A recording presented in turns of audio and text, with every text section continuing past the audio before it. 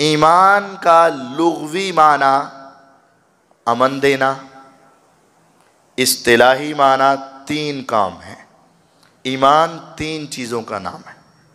करना है किन के बारे में वो छः हैं। ज़ुबान से इकरार, दिल में तस्दीक, और उसके मुताबिक अमल ये ईमान है। अगर ज़ुबान से इकरार नहीं तो कुफर है। ज़ुबान से इकरार तो है, दिल में यकीन और तस्दीक नहीं, मुनाफ्कत है। और अगर ज़ुबान से इकरार भी है, दिल में यकीन भी है, अमल नहीं है तो ये फिसक और फजूर है, ये गुनाह है। अब ईमान छह चीज़ों पर रखना है।